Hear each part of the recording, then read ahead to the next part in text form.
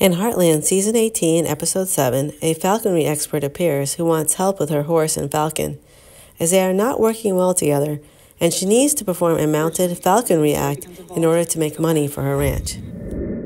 In a second storyline, Amy tells Nathan that it was Lou who told Crown Shoppers about his father having Alzheimer's, a secret that led Crown Shoppers to drop Nathan's cattle business. I have to tell you something. It was Lou who told Jed about your dad.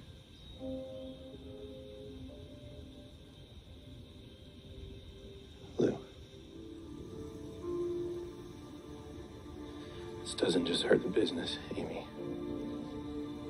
This hurts my dad. Me. Clearly, I was right to be guarded.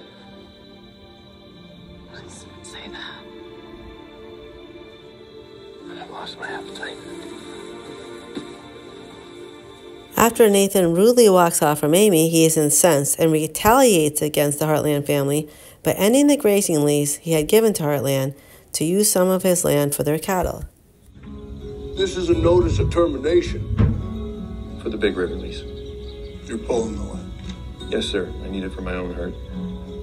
I'll have to ask you to move your animals within 30 days. And Lou, in turn, is also very upset about this as well. Place price beef. So this really is retaliation. To the situation to Crown, and there were consequences. And that is not my fault, or, or Heartland, or Amy. Enough! Then Amy, not wanting to get caught in the middle of it, makes a difficult but necessary decision to end her relationship with Nathan, realizing there is no way to keep her family feuds out of their relationship. In this scenario where we don't talk about our ranches, what exactly are you picturing? This. Us. Just together. Okay. I see you joining us for family dinners. Getting into debates with my dad, learning from my grandpa. But she breaks things off, realizing none of that is going to be possible. In the third storyline, Lou and Katie have yet another blowout when Lou finds Katie in a bar with her library writing club leader. The leader is also perturbed that Katie never said she was underage. Katie also hints in this episode that she might want to move away from the ranch, possibly to Vancouver.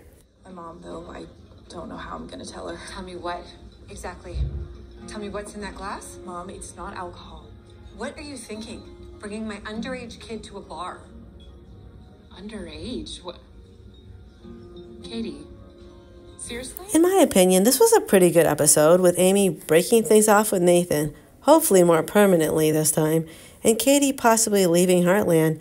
The falconry act that Amy works with is also interesting, and I think they, hey, maybe this lady could have her own Heartland spinoff type of show, but instead of Heartland, it could be called Birdland or something along those lines.